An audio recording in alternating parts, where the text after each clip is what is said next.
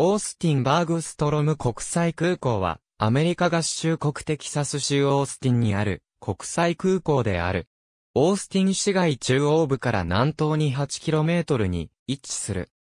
1999年5月23日に旅客業務を開始した。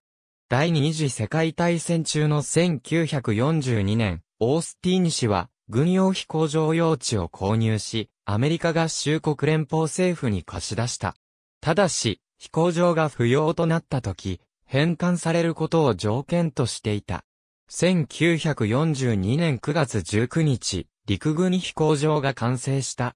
名称は、フィリピンのクラーク飛行場で1941年に戦死した同郷軍人、ジョン・オーガスト、R. バーグストロムに敬意を表して1943年にバーグストロム飛行場に変更された。1947年にアメリカ陸軍と空軍の分離の後、バーグストロム空軍基地となった。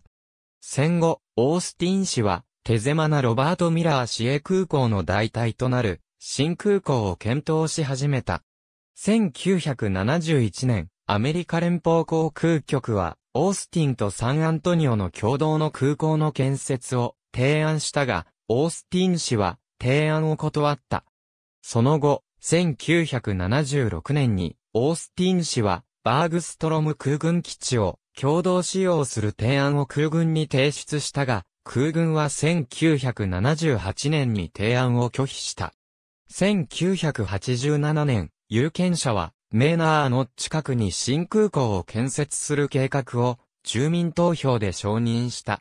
市は空港用地の買収を始めたが、環境への影響を心配する住民やシエラクラブが訴訟を起こした。1991年、幸いにも、軍事基地再編閉鎖委員会のリストに、バーグストロム空軍基地が含まれ、基地の敷地は、オースティン市に返還された。このため、メーナーの新空港計画は中止となった。1999年5月23日、オースティンバーグストロム国際空港は開業した。ロバート・ミラー市営空港は閉鎖され、空港コードアオスは新空港に受け継がれた。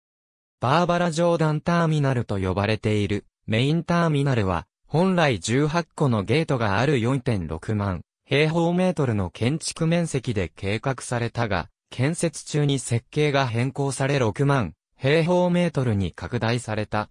完成したターミナルの第2ゲートから第25ゲートまでのゲートは、ボーディングブリッジを使用し、第1ゲートはタラップを使用した。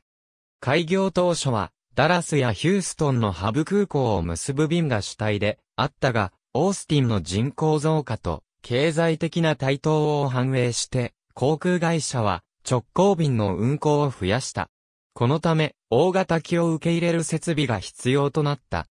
2014年、ブリティッシュエアウェイズは、ヒースロー空港行きの運航を開始した。この航路は、空港発の大西洋横断の航路になった。ターミナルの最初の拡張プロジェクトは2015年の夏に完了した。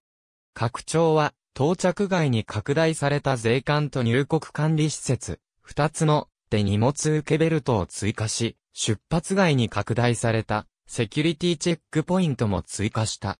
さらに2019年にターミナルイーストインフィルと呼ばれたプロジェクトで9個のゲートを増設し、ゲートは合計34個になった。オースチンバーグストロム国際空港に航空会社20社でカナダ、イギリスのロンドンを含む67都市を言っている。オースティンバーグストロム国際空港はテキサス州道71号線という高速道路と直結しており、タクシーや自家用車でのアクセス性が高い。また、キャピタルメトロポリタン交通局のバス路線、20マナーロード、リバーサイドは、毎15分出発しており、空港やオースティンの中央とを結ぶ。